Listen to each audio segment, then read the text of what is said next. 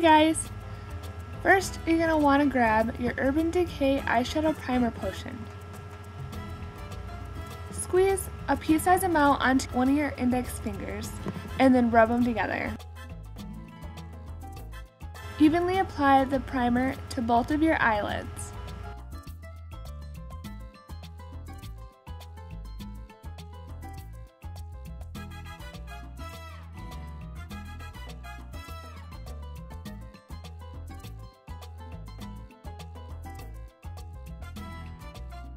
After you've applied the primer, grab your CoverGirl eyeshadow and Silver Iris and apply it to the innermost corner of your eyelid.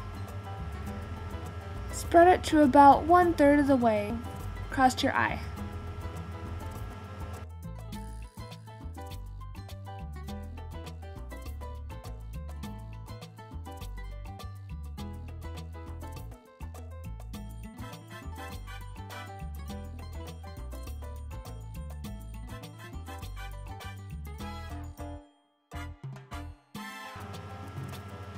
After you're done with that, grab your MAC pigment in Gilded Green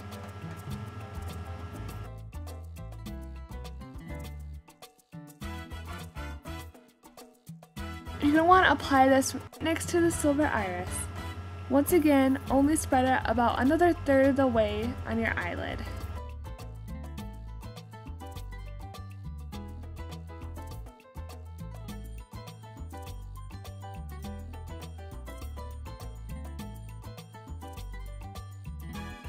Once you're done with that, grab your Maybelline eyeshadow and tastefully taupe. This will be the final color you apply to your eyelid and it's going to go in the farthest corner of your eye. I also use this to blend the top closest to my eyebrow as well as the lash line. Then you're going to grab your New York color in black kohl and line your eyes.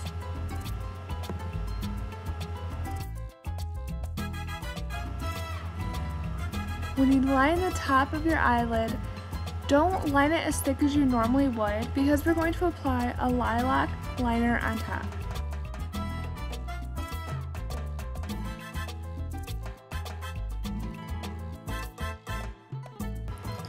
After you've lined your eyes in black, you're going to want to grab your Wet n Wild eyeliner pencil in lilac. Go ahead and put it as close as you can onto your upper eyelid next to the black.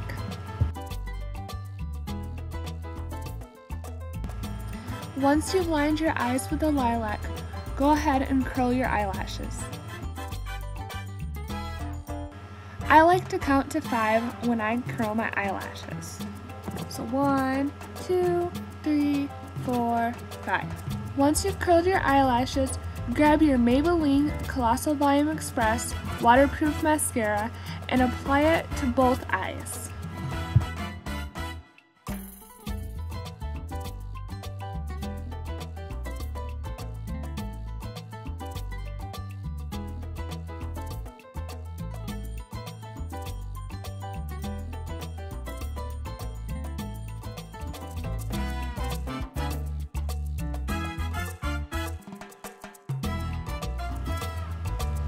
Thanks for watching guys.